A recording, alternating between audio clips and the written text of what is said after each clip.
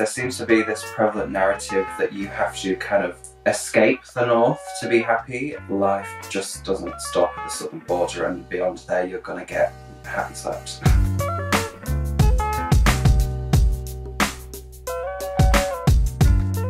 Any kind of representation of LGBTQ people comes from very much like a southern perspective. I think a lot of people are always trying to search for community to belong to, but you, you don't really find that here in the north. You find you find all of those in London, let's say. Trans representation was definitely something that I didn't have as a kid and didn't have around.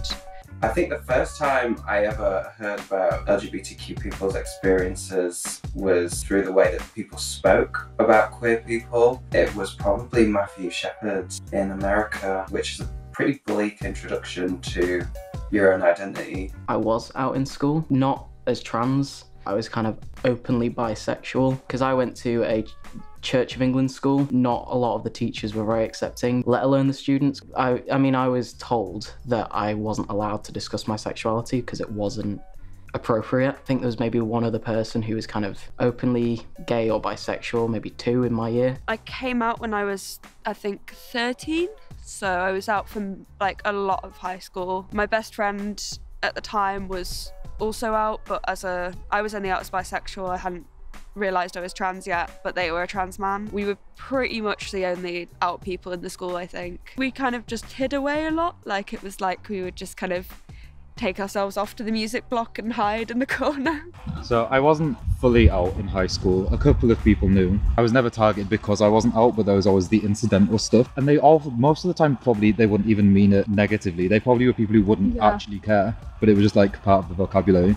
Yeah, and you're like, Yeah, Eesh. it's just like a weird environment like, to be in that's when you're already dealing Yeah. with so much stuff. I knew that I was gay when I was 17, and uh, since I came out when I was 19, and then I sort of started seeking out other queer people uh, to spend time with. I came out on Ask FM. And it was one of those things like I kind of came out because I thought that you know I thought that would be enough. No Because you one, always think you just do it once. I know, and no one ever like acknowledged it. I got like a suspicious ask on Ask FM going, "Are you like a lesbo?" And I was like, I explained in the answer, but like other than that, like I always just thought, It's kind great, yeah. um, okay, well. I was like, I put my effort in now. yeah. a lot of the girls wouldn't allow me to get changed in the girls' changing rooms because, quote unquote, oh, she's a leser, she can't get changed in here. Um, so I'd have to get changed in the bathrooms. I wasn't out at all during school. It was very scary because even though, even when you're surrounded by your friends, you're still never sure if they're gonna be fully accepting or if they're gonna behave differently to you. So I feel like my fear of what other people think about me kind of held me back from coming out. And it was quite nerve-wracking to say the least. Bizarrely, like a lot of the shit I got wasn't actually for being bi, it was actually for being friends with a trans person as well, which is like lots of like, why do you hang out with it and all of this kind of stuff, which was not so great. I guess I started to realise when I was around 16, I was just about to go to college and I wanted to be more myself. Well, when I was younger, um, Section 28 was still a thing. So uh, there was quite a lot of anti LGBT feeling in this country.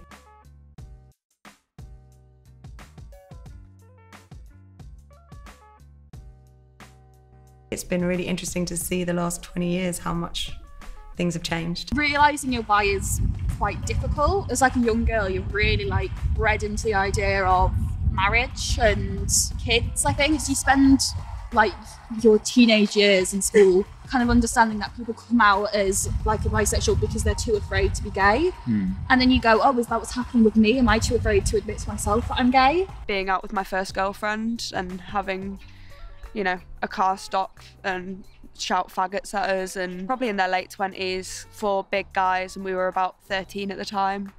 And that was, I just remember being incredibly scared. I actually get a lot of harassment just because of a mix of the uh, geographical location I live in, which is relatively far out of the city, so the mentality follows that unfortunately. And you do get a lot of harassment from um, shouting out of cars to being spat on uh, to being hit for how I, not even how I go about my business, just me going about my business. It's really changed how I feel comfortable dressing in public and how I present my gender identity. I was, I think, 15 or 16 when I first got involved with Trans Leeds. I needed a way to find other people like me. Trans Leeds is a support group, um, but they all also organise events um, and workshops for trans people and a support network to make friends, but also to help people, whether that be to help them medically transition or to help them just get by. I run a community cafe which is called Rainbow Junction, which is a waste food pay as you feel cafe. The cafe has quite a strong connection with the LGBTQ community. Last year, one of our uh, LGBTQ asylum seeking volunteers uh, was detained in Yarl's Wood.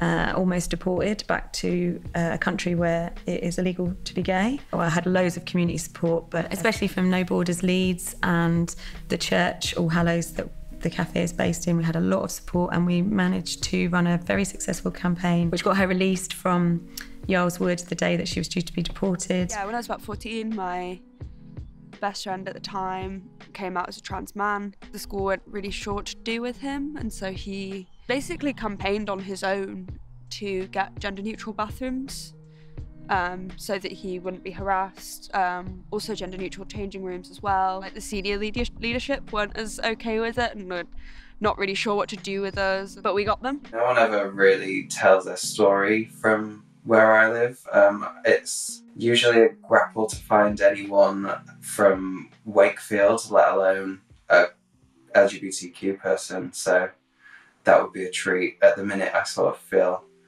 adrift and without any icons, unfortunately. We need more. More than LGBT icons. Like, do they exist? They probably do, but like, no one wants to hear it, do they?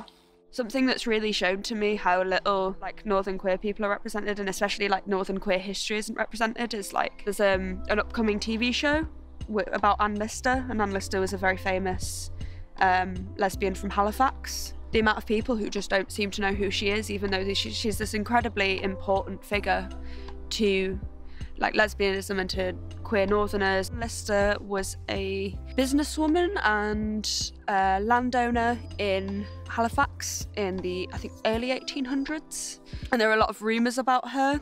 A lot of people called referred to her as Gentleman Jack because she was so kind of masculine and like domineering or whatever.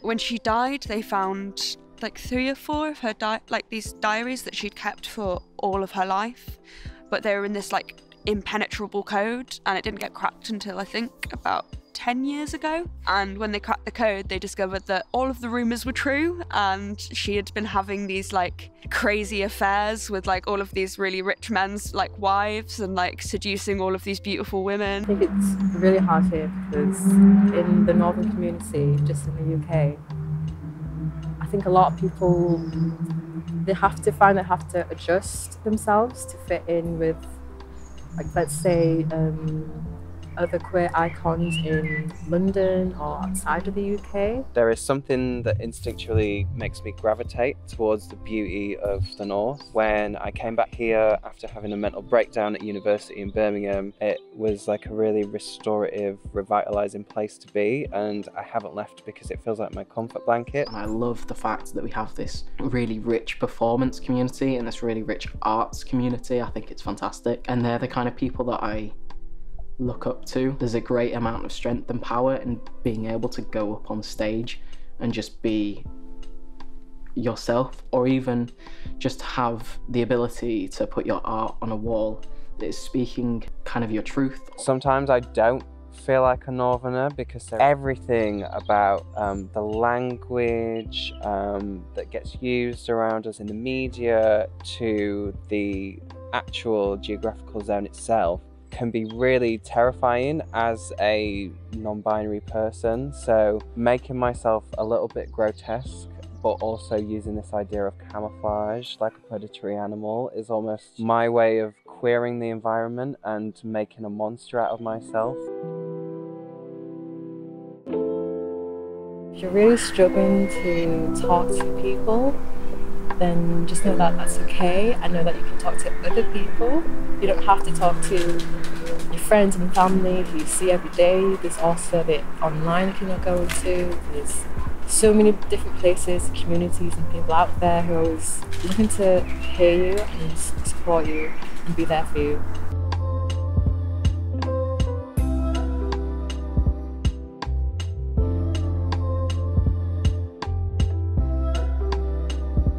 As well. I can't name many things that are even set in the north. Whenever it is set in the north as well, it's like everywhere's like a coal mining village or yeah, something. it's always always like everyone lives in the terrace and Yeah. everyone sleeps on It's top always of each cobble other. streets. Cobble street.